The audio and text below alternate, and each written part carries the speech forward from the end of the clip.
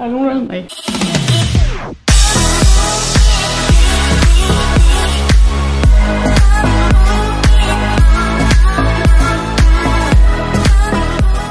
Hej alle sammen og velkommen til endnu en ny vlog fra London af. Det der sker i dag, det er, at vi skal til Oxford, ikke også? Glæder I jer, vennerne? Mega. Mega glæder sig. Lige nu der er vi på vej hen til et sted, så vi skal mødes, så skal vi til Paddington, så skal vi fra Paddington til Oxford, tror jeg.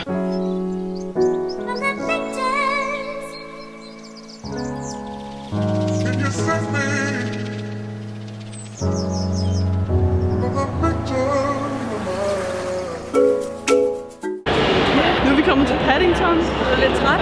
Lidt træt, meget træt. Jeg tror, vi skal til Oxford nu på en eller anden måde. Jeg ved ikke, om det er bus eller tog, men det bliver fedt.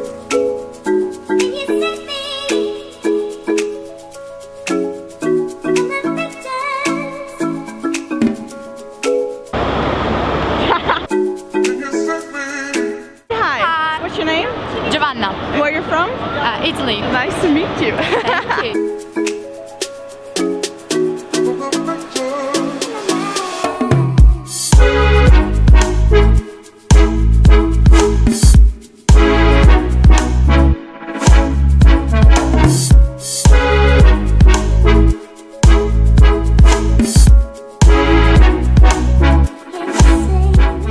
der sker nu, der er vi ved Christchurch College. Og det her, her at uh, Harry Potter er blevet filmet, noget af det i hvert fald. Der er The Dining Hall, og så er der... Jeg ved ikke, hvad var det det for en, The Last Battle of Harry Potter eller sådan noget, er blevet filmet her. Alice in Wonderland er også blevet filmet her. Det er sådan det lige skrevet? til alle... Nå, Ja, skrevet, ja. Det, det, du skal ham, der ligesom er og skrevet den. Han har ligesom kigget på de her omgivelser, og så har han skrevet den her på det her. Det er meget fedt, kan man jo sige.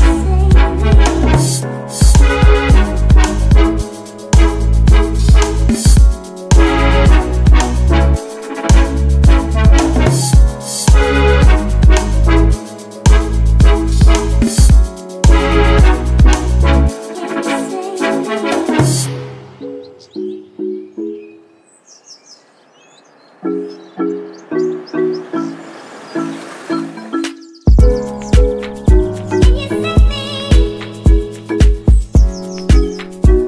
er vi henne?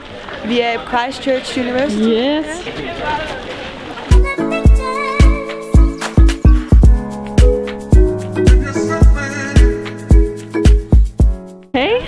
Are you from? I'm from Spain From Spain, yeah. yeah. What's your name? Sofia, Marina, and Luis Yeah. Nice. we are here in in Oxford. Eve, yeah. And we say we in Oxford with Jeff and today is excursion day. And We just met Anna and it's really nice. Yeah.